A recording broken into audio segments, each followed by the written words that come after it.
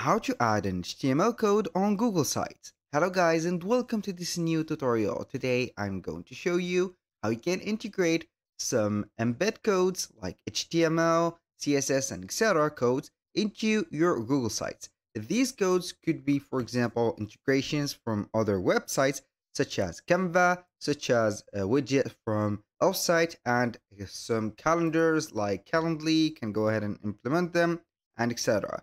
So all you need to do is to follow up the tutorial from the beginning to the end and you are going to be good to go. The first thing that you need to do is to head over Google Sites or sites.google.com.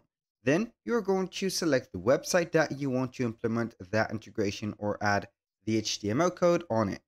So for example, we are going to use our news site right there and we are going to add it right here. So we are going to see through the website. Now we are going to uh, add the embed code. You are going to see here at the insert. So you are going to click on embed and then we have two options.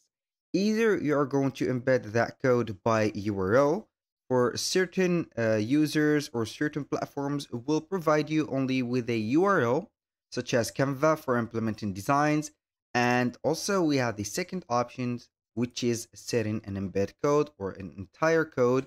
This could could be a iframe, uh, for example, to set up a frame that will showcase that specific, um, uh, let's say here, code or a widget or something like that. The iframes would be uh, available, for example, from Figma or a lot of platforms or integrations.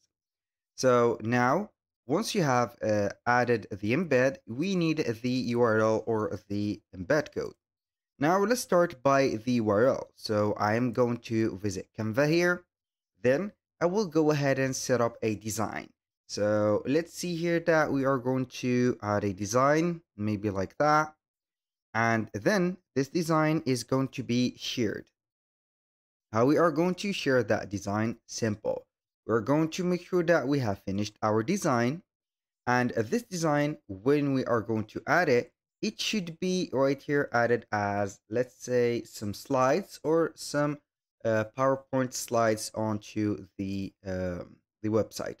Because here it will only get to work for a few actions because this is just a design. So we are going to click on share. Then we are going to click on see all after that, we are going to sit here embed. Now we are going to click on embed and here uh, we have the HTML embed code and also we have the smart embed link. So Canva has added the HTML embed code finally. You can either go ahead and add the HTML embed code and also the smart embed link. So I'm going to use the smart embed link which, which is the URL copy it, go ahead right there and add it by URL, paste it. So here can embed you to provide a set permission will display as a text link. So here Canva will demand, uh, as I can see, permission. So we are going to add it like this. It has added as a uh, website view. So I don't need that. I'm going to try it from Calendly. So let's go here to Calendly. Then we are going to choose, for example, an appointment. I'm going to turn it, this on. For example, or I'm going to share this.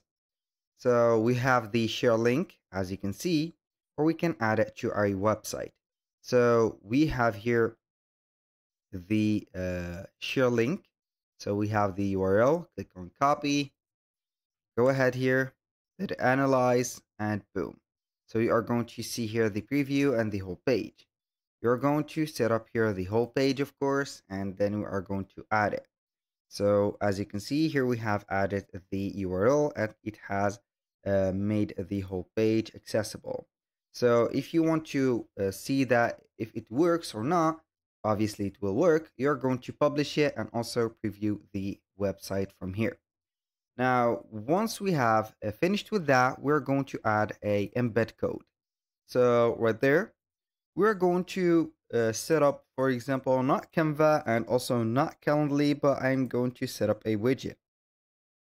So let's go ahead to our site. Then we are going to search from the widgets. So we are going maybe to set up a feed for Instagram. Now we are going to head over the feed of Instagram as you can see here and then we should create our widget for free. So our widget is already created and I will go ahead and view the widget. So now I am going simply to edit the widget first before adding it to the website. You are going to set up here the tag of the Instagram that you own or the source. Can go ahead and add an account or a hashtag, for example. So if I want to add a hashtag, I'm going simply to set up here hashtag iPhone, for example, 16. So we are going to search and then you are going to see the hashtag as it is. So right there, you are going to click on done. This is the source. Here we have the layout, as you can see. And here we have two types. Either it is a grid, like that, or it is a slider. You can customize the columns and rows, header, slider setting, and feed title for the posts, you're going to set up here or uh, make sure that the likes will appear or the like counts will appear comments count texts and etc we have some post style right there. As you can see you can customize only two. This is a, a highlight also this is a snippet i think or a post itself. So we are going to see here the styles. Can uh, go ahead and uh, put here the color scheme and change it as much as you want. For example like that like that or yellowish so i would like to add it as dark. You can customize the header the post the arrows and etc and finally the language. When you finish you are going to click on publish. Here we have published it. Now we are going to click on install. So here we have two, two options which is the first one uh, embed code and the second one is the share link or the URL. So in this case, I will go ahead and add the embed code. Go back right there to Google Sites. Now we need only to paste that code by pressing Control V or we have only to set paste like that. Now we are going to click on next.